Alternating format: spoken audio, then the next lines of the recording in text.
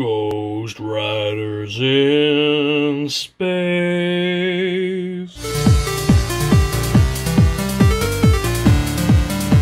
Bring me baby Thanos. Hey guys, me, host Super Sorrell. Thank you very much for tuning in. Look what I got.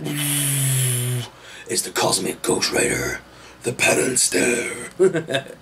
it's Cosmic Ghost Rider, and that means one thing. It's time for another Marvel Legends action figure review. So, whoop! Today we've got the Cosmic Ghost Rider. You'll see that bike better on the on the desk cam in just a little bit. But for now, let's take a look at the figure itself. We have the Cosmic Ghost Rider, an awesome new Rider Series set brought to us from Hasbro's Marvel Legends line. This is a very cool action figure, and one I've been looking forward to because I've really enjoyed the Cosmic Ghost Rider story this year. Well, last year, when we had the whole um, it comes about because of the war with Thanos, and he actually dies. Does Frank does um, Frank Castle, and he gets to come back as a Ghost Rider, and he basically goes and decides to try and take out the Punisher. Sorry, go take out uh, Thanos when he's a baby. And he gets sent back in time, and then he realizes when he uses the penance stare on the baby Thanos that Thanos at that point in time is not evil, so he can't use it on him, and he can't kill him. So what happens is um, he basically decides to, ra- to basically raise Baby Thanos like his own, very similar to the Baby Yoda sort of storyline. And um, I've said this from day one. If anyone has got a 3D printer out there that can somehow make a Baby Thanos to wrap around this guy with a chain, just like in the comics, I'd love one, and I'd, I'd do. I'd love to review it. But for now, guys, let's take a look at Ghost Rider. So the actual dome piece, which a lot, not a lot of people know, I don't think, actually pulls off. So you can adjust this neck piece, which is actually separate from the rest of the body, uh, which, which, is the flame piece at the back. You can, rotate that around, and you can also mess around with his head a little bit as well and make him look different ways, and then put that dome piece back on basically. So if you're only looking in a certain way, you can set that off, you know, adjust it, and then pop that back on. His arms do lift up all the way to that top hinge. These pieces here are separate from the body as well, so they do lift up nicely. No scuffage. And obviously there's the top bicep hinge there as well, a double hinge elbow. Hands are on a jaw, a ball joint there. You can crunch him forwards a little bit as well as backwards quite far. There is a further swivel there as well. There is no waist swivel on this figure. He's got enough swivel at the abdomen area. You can lift his legs out all the way, as well as forwards and backwards. There is a top thigh cut still on this figure as well, and a double hinge knee here, where it is actually hindered a little bit um, by the actual armour pieces touching. There's no shin cut or anything like that, but the feet are on rocker and pivot, and there are holes on the bottom of the feet should you wish to use a base on this one. I probably would, because I found this figure quite hard to stand.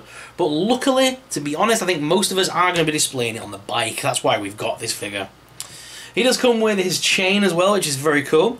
Uh, the chain itself is made of a yellow plastic with a nice orange tinge it gets to the top to create the flame effect. It's very cool. Although I do prefer the other chain from the first figure. And we do also get these awesome little flame effects for the guns. Get two of those. The bike itself is pretty nice. These two dome pieces connect at the front. And inside the dome piece, you'll see these little white meshes that just fit inside. That creates the overall cosmic effect of the of the actual uh, dome. Because of this piece at the bottom, you can tilt it left, right, backwards, forwards to give you a full range of motion on the bike, which is nice. And again, same with this piece at the back, that does rotate around so you can get different angles, things on that flame effect. And I believe it does pull off if you give it a hard enough tug. And then the actual um, the guns just slot inside the little holsters. I'll try this one before I go back and get on. Yeah, and these guns remind me quite a lot of the guns used by sort of Star Lord. Very nice guns. Let's go down there and find that gun in a minute.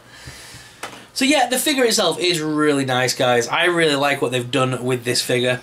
So let's go on down to the desk cam to give you guys a proper close personal look at this awesome figure line. So let's go to the desk cam. Sadists, psychos, and killers.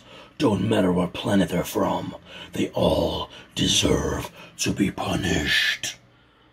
So here is the Punisher out of the packaging. Let me just move this to one side for now and give you guys a proper close look. Look at that face skull, first of all. That red skull there with the flame effect around the bottom on top of that. That is really cool. The dome piece does come off as I've shown you previously. You can remove the dome piece to adjust the, any of the part of the head and stuff if you want. Then, of course, he's got the classic Punisher emblem there. You can see the two eyes and the mouth uh, meeting at the bottom there on that on the waist piece.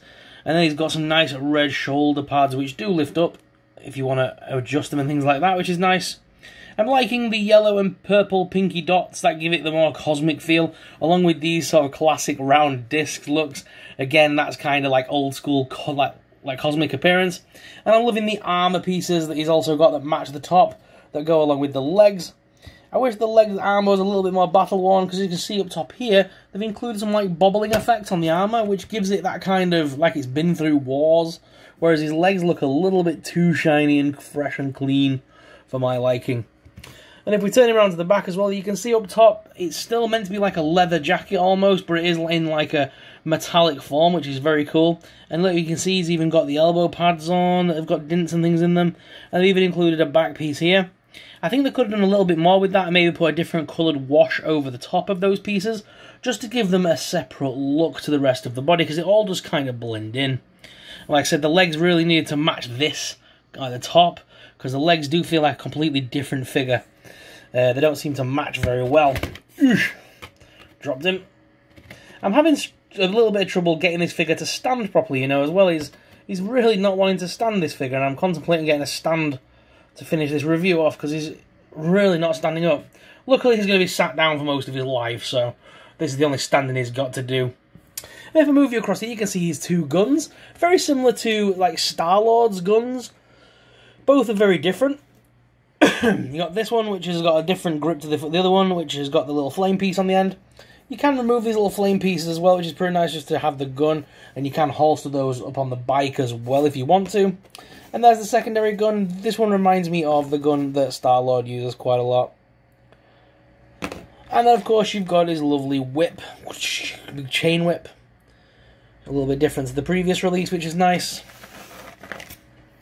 And of course, then as well, we get the bike for the Cosmic Rider. Now, the bike, again, it's got a nice big flame piece at the back, which is pretty nice, and it comes with this awesome stand, similar to the one that we got for Xavier, which I don't actually use. I've got my Xavier up there.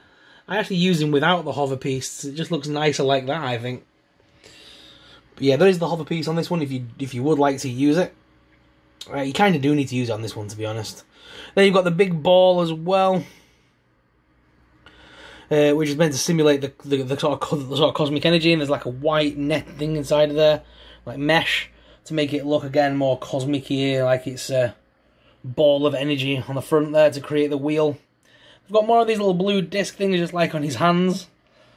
And again, that design follows through with that blue and silver all the way through the actual vehicle itself, giving it a very nice shiny build. There's some more of those blue rings at the back there. And he's got the big three spokes at the back. You can place the guns in here as well, which is pretty nice. So just get one of those guns. You can just kind of... Oh, have I got the wrong one for that side? Let me get the other gun. Me try that again. I'm not sure I'm going to do this one-handed. Ah, there we go. There we go. So it does just slot in like that at the back. And again, because of the, the way the piece works, you can tilt the bike forward, backwards, left, right, to give it some kind of, you know, action pose. Yeah, the guns do fit in, they just slot in like that as well on the side. He does have a little kick plate stand there to put his feet on. I think that's pretty much all the detailing I can show you on that one. So if I move that out of the way and bring in the other Ghost Rider from our previous release, you can see the two side by side. Cosmic Ghost Rider is a little bit smaller, uh, which is quite surprising. And as well, I'm just going to get him out for giggles. He is missing his hat. Though we do have another Ghost Rider as well from the old Toy Biz days. I always thought this one was Caretaker, but apparently it's not. Someone pointed out to me which one it was recent, like recently if I ever got a decent horse, I think I would use this as the as like the caretaker's Ghost Rider on horseback. yeah, there's my Ghost Rider collect collection so far, guys. Which Ghost Riders have you got, and which one do you hope they make next? Let me know in the comments down below. Also, if anyone out there has a 3D printer and can make a baby Thanos for this figure, I would appreciate it. I would love to wrap baby Thanos in a chain around the front just like on the comic covers. In the there was the series of Baby Thanos Must Die, and I would love a baby Thanos to go with him. That would be really cool. So if anyone's up for making one of those, please let us know in the comments below. But guys, let's go back to the main cam and finish off today's video. So guys, what's your uh, thoughts on this awesome Ghost Rider figure? Let me know in the comments down below. If you enjoyed today's review, guys, then please make sure you smash that subscribe button. Subscribing really supports us. It really helps us out and helps us to keep making awesome videos like this. Thank you very much for watching, guys. As always, I'm your host, Super Sorrell, and I'll see you in the next video. May the Force be with you. Bye!